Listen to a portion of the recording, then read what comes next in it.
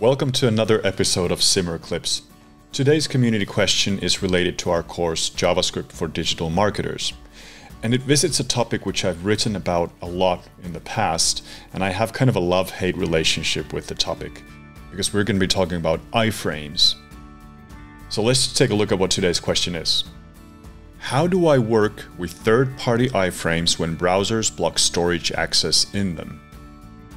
So this is related to how iframes actually work. When you create an iframe in a site, it actually creates an embedded browser window within that site itself.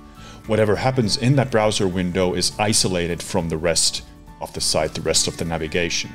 The solution to working with embedded cross-site iframes relies on a JavaScript method called postMessage. Post message enables a communication channel between two windows, whether they're iframe and the parent page, or just two separate windows in the browser. Post message is a bilateral communication way, so both the receiving end and the sending end need to be aware of each other. You can't just send messages to another window without that window having a mechanism to accept them. In this Simmerclips topic, we're going to take a look at how to build both the sending part and the receiving part in JavaScript. Please take a look at the article as well because we have all the elaborate code samples there and I'll also share with you a custom HTML tag template for GTM which allows you to set this up very easily by just editing some configuration options. In this video, we're going to be working on the Team Simmer site though. So this is the site that I am actually navigating right now. It's the parent page of the browser window.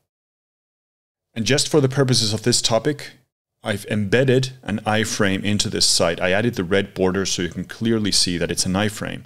And the iframe contents come from another site, a completely separate site from this. It's the simoahava.com blog in this case.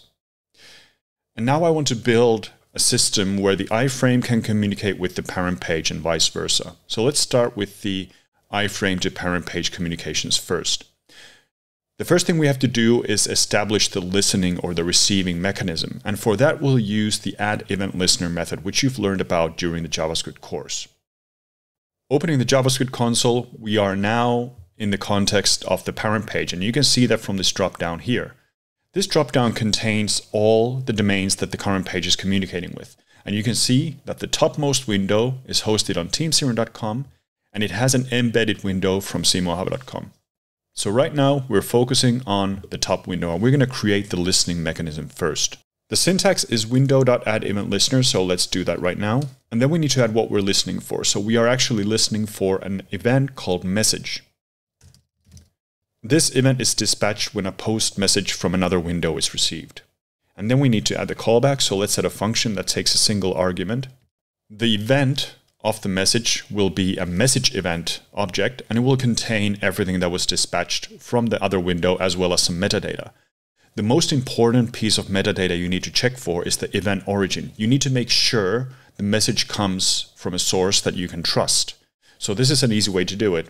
With this check, we're making sure that the origin of the post message is simoahava.com. So it needs to be the origin part of the URL. That's everything up to the first path selector. If the message comes from some other origin, we use the return statement to break away from this listener. Everything that was passed as the contents of the message will be included in the data property of the event object. So we can do something like this to log what was in the post message. And this is actually enough. This way we already have the receiving end up and running. Now we can switch focus to the iframe. So in the selector, choose the iframe domain now we are in the context of the iframe. We can verify this by doing a quick check at the page URL. Here you can see that the URL of the current document is simoahava.com, so we are in the context of the iframe. So now let's dispatch a message to the parent window. And the easiest way to do this, if you know that the receiving end is the URL the user is actually navigating, you can use the window.top shorthand to access the highest window in the frame hierarchy. So even if there are embedded iframes, so iframes within iframes, you can use window top to access the topmost parent.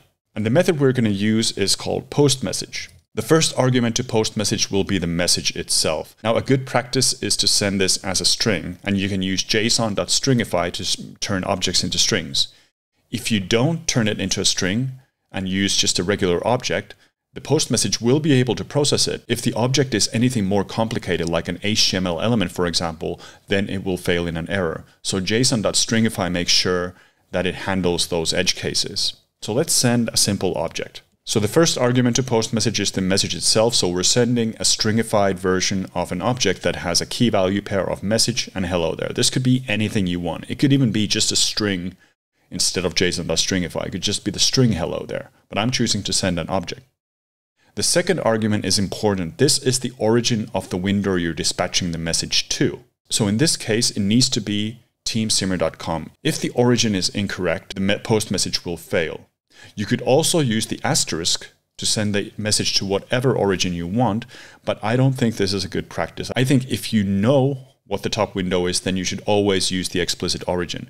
If you're hosting a booking engine and you never know where it's been embedded at, then the asterisk makes more sense. But in this case, I know very well that the origin of the topmost window is teamsimmer.com, so I add that here. And this is how you send the post message. Now when I press enter, the message will be dispatched and the listener in the parent frame should log the contents to the console.